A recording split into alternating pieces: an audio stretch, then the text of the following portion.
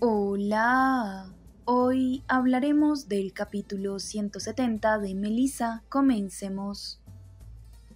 Este capítulo comienza con Begun, la tía de Orhan. Ella llega al gremio a buscar a Octay, no lo ve, sube a su oficina sin avisar, abre la puerta y queda totalmente sorprendida al ver a Octay en la cama junto a Asra. Ellos estaban haciendo el amor. Begun queda mirándolos totalmente sorprendida. Azra, sorprendida y nerviosa, dice, No es lo que piensas, te lo puedo explicar. Begun mira furiosa a Octay y se va. Azra, nerviosa y asustada, se pone de pie y dice, Me vio, estoy perdida, ¿qué haré ahora? Octay está en silencio. Azra le grita, ¿qué voy a hacer ahora? Octay le dice, Cálmate, ya lo solucionaremos. Azra, muy asustada, dice, Estoy acabada. Le contará todo esto a Orhan y usarán esto para el divorcio. No podré quitarles nada, nada. Octay le dice, Cálmate. Azra dice, Ahora no podré regresar a mi casa. ¿Dónde viviré?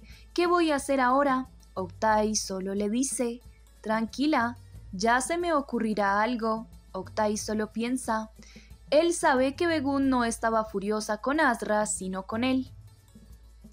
Al mismo tiempo vemos a Orhan en su casa, en el estudio de su casa, bailando muy feliz con Busra. Busra está muy sonriente y Orhan le besa la mano y le dice, Gracias con concederme este baile. Busra dice, Es un honor para mí, Orhan Aksu. Orhan dice, Extrañaba estar cerca de ti. Busra dice, Yo también te extrañé. Orhan sonríe y dice, Estamos solos, Azra se fue, Defne está en casa de una amiga. Busra pregunta, ¿y qué? Orhan dice, Estamos los dos solos, quizá te apetezca algo más. Busra sonríe, lo piensa y dice, Suena bien. Orhan dice, ¿verdad? Ambos se besan apasionadamente y se va la luz en toda la casa.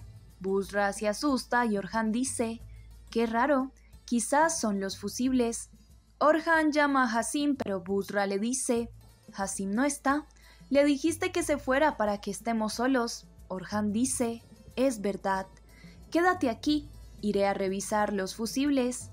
Busra dice, no quiero quedarme aquí, tengo miedo. Orhan dice, está bien, vamos juntos. Ambos salen del estudio. Ambos van al sótano, pero todos los fusibles están bien. Busra dice, siempre le tuve miedo a la oscuridad, es aterrador. Orhan dice, creo que el problema no está aquí, debe ser el panel eléctrico que está afuera. Busra nerviosa dice, no debería salir. Orhan dice, es mi casa, tranquila, todo estará bien. Orhan sale de casa, va hacia el panel eléctrico y atrás de él aparece Selim. Él tiene un cuchillo en sus manos. Orhan revisa el panel eléctrico y todos los cables están cortados. Él se da cuenta que esto fue intencional. Selim se acerca a Orhan y cuando está a punto de matarlo, llega un auto a la casa. Selim rápidamente se esconde, Orhan va hacia la entrada y Begum baja del auto. Orhan dice, no te esperaba. ¿Pasó algo? ¿Por qué no llamaste? Begun le pregunta, ¿por qué todo está oscuro? Orhan dice, un corto eléctrico. Begun le dice, tenemos que hablar. Orhan le dice, entremos y hablemos mientras llega alguien a arreglar esto. Ambos entran a la casa y Busra rápidamente escapa por la ventana y se va corriendo para que Begun no la vea. Busra camina por las calles y enojada dice, todo estaba bien, pero para mi mala suerte se va la luz y llega su tía. ¿Ahora qué más pasará? ¿Saldrá algún extraterrestre frente a mí? En ese momento aparece Selim con el rostro cubierto enfrente de Busra. Él sostiene un cuchillo en las manos. Busra se asusta y se va corriendo.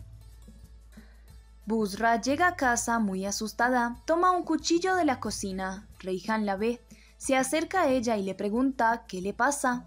Busra asustada dice, el asesino, lo vi, estaba frente a mí. ¿Las ventanas están cerradas? Reihan se asusta y pregunta, No te hizo nada, ¿verdad?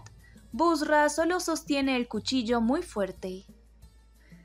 Pasa un rato, la luz llega a la casa de Orhan y él le pregunta a su tía, ¿qué pasa? Begún furiosa le dice, ¿en serio no te diste cuenta? Orhan pregunta, ¿qué? Begún le dice, tu esposa se acuesta con Octay. Orhan finge sorprenderse. Besime les trae café y Begún le dice, ve y empaca todas las cosas de Azra. Besime le pregunta, ¿a qué se refiere? Begún le dice, no quiero nada que pertenezca a esa mujer aquí. Besime se va a empacar las cosas y Orhan le dice a su tía, no te preocupes, llegará el final de Azra muy pronto y será peor de lo que imaginas. Begún dice, ¿en serio? ¿Qué harás? Orhan solo dice, ya lo verás. En fin, resumiendo, cuando haya terminado con Azra se arrepentirá incluso de haber nacido. Begún dice, espero que sí, Ve y divórciate de ella de inmediato. No quiero que ensucie el nombre de esta familia. Orhan dice, ella no podrá arruinarnos, solo se hundirá sola. Begún dice, no estés tan seguro. Si alguien llega a verla con ese hombre en el gremio, se manchará nuestra reputación. Haz lo que tengas que hacer mañana mismo. Orhan dice que está bien. Al día siguiente vemos a Begún en la terraza hablando por teléfono. Ella dice, quiero que averigües toda la información sobre Octay, dinero en bancos, inversiones, negocios. También quiero que investigues si actualizó su pasaporte recientemente o si solicitó una visa. Quiero que investigues en qué invierte el dinero que le saca la gente. Quiero saber todo. Besime le entrega un café a Begún y se queda viéndola pensativa. Begún la mira y le pregunta, ¿qué pasa? ¿Por qué me miras pensativa? Besí me dice, escuché que decía algo sobre Octay. Begún le dice, ¿por qué preguntas? ¿Te importa? Besí me dice que sí, le dimos todo nuestro dinero, es por eso. Begún solo la mira y me asustada dice, dígame algo, ¿nos va a estafar? Begún dice, no lo sé, pero lo averiguaré. Al mismo tiempo vemos a Octay en la oficina del gremio. En ese momento llega Reihan furiosa y le dice, Vengo por mi dinero. Octay le pregunta, ¿qué pasa? Si deseas, toma asiento y conversamos. Reihan furiosa le dice, No tengo nada que hablar con un asesino de caballos. Quiero mi dinero ahora mismo. Octay se enoja y le dice, Yo le dupliqué su dinero, tuviste ganancias y así es como me tratas. Reihan furiosa le dice, Quiero mi dinero ahora. Octay enojado le dice, Está bien, le daré su dinero mañana y no quiero que se vuelva a acercar a mí. Reihan dice, Muy bien. Reihan sale y en el gremio estaba Nekati. Él la ve, se acerca a ella y le dice, Ven, te invito a un café, hablemos. Reihan furiosa le dice, Quítate de mi camino, estoy furiosa y no me quiero desquitar contigo. Nekati solo la mira triste y Reihan se va. La escena cambia a Metin, él se reúne con Leila en el jardín y ella le pregunta, ¿pasó algo? Metin le dice, toma, es un cheque. Leila lo mira pensativa y Metin le dice, es el dinero que te debo, me pagaron por la cosecha. Leila dice, ¿puedes creer que lo había olvidado? Metin dice, yo no lo olvidé, me esperaste bastante tiempo y te lo agradezco. Leila se pone un poco triste, le devuelve el cheque a Metin y le dice, No es necesario que me pagues esto ahora. Metin le dice, Claro que no, no te preocupes, es tu dinero, acéptalo. Además, hay cosas que quieras hacer con el dinero. Tenías sueños, querías empezar tu vida desde cero. Espero que desde ahora puedas cumplir esos sueños. Leila solo lo mira y triste dice, Este dinero me facilitará todo. Pasan las horas, Azra va al gremio, se reúne con Octay y le pregunta, ¿qué pasa? ¿Por qué empacas tus cosas? Octay dice, me voy de este pueblo. Azra, sorprendida, pregunta, ¿por qué? Octay dice, ¿qué hago? ¿Espero que me arresten? Azra pregunta, ¿por qué?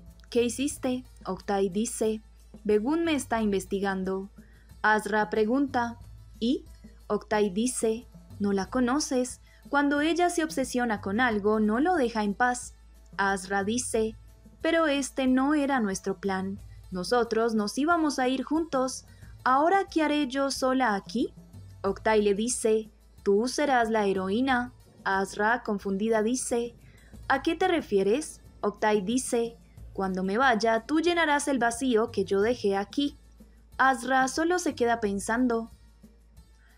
Nos vamos a casa de Metín. Leila está en la sala triste. Melissa la ve. Se acerca a ella y le pregunta, ¿qué pasa? Leila triste dice, Metín me pagó el dinero que me debía. Melissa piensa y dice, ¿entonces ya no tienes motivos para quedarte aquí? Leila dice que no. Melissa pregunta, ¿entonces te irás?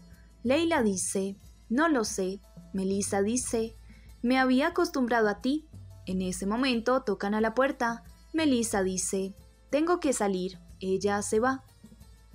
El capítulo acaba con Metin, es de noche y él está solo en la cocina. Leila entra y Metin le dice, ¿quieres beber té? Leila dice, no gracias. Ella se sienta y Metin le dice, primera vez que no quieres. Leila está triste y dice, creo que no hay una manera fácil de decir esto, por eso seré directa. Metin la mira pensativo y Leila le devuelve el cheque. Ella le dice, no quiero esto. Metin pregunta, ¿Por qué? Leila le dice, si recibo esto tendré que irme, pero yo me quiero quedar aquí. Metin empieza a sonreír y dice, ¿de verdad tú pensaste que te di este dinero para que te fueras? Yo haría lo que sea para que te quedes.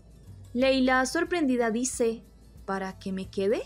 Pero entonces, ¿por qué me diste esto? Metin dice, lo correcto es que si te quedas sea por decisión tuya, no porque te debo dinero. Leila empieza a sonreír, le da el cheque a Metin y le dice, no necesito esto, la casa es de los dos. Metin le da nuevamente el cheque y le dice, esta casa y mi corazón son todos tuyos. No tiene nada que ver con el cheque. Leila empieza a llorar. Ambos se toman de las manos y se miran fijamente.